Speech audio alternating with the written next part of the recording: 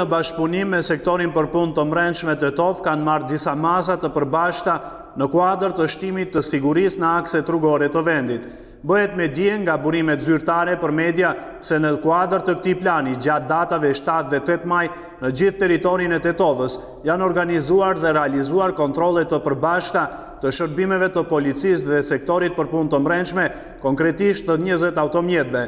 Ndërkohë, për shkeljen e ekstraduar ndaj drejtuesve të automjeteve janë marrë pesë masa administrative gjobë, si dhe janë bllokuar dhjetë automjete.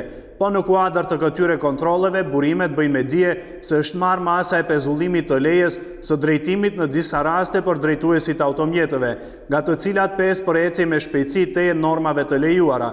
Për ata janë shqiptuar dënime me vlerë prej treqind euro dhe ndalesë për drejtimin e veturës në afat nga tre deri dymbëdhjetë muaj. Kontrolle të ngjashme nga sektori për punë të brendshme Tetovë paralajmërojnë edhe për ditët në vijim, kurse në shënjestër të policisë do të jenë ata vozitës që drejtojnë veturën nën ndikim të alkoolit dhe ata të cilët drejtojnë veturën me shpejtësi më të lartë se shpejtësia e lejuar. Kontrollet do të shtrihen edhe në territorin e Gostivarit, informojnë nga sektori për punë të brendshme Tetovë.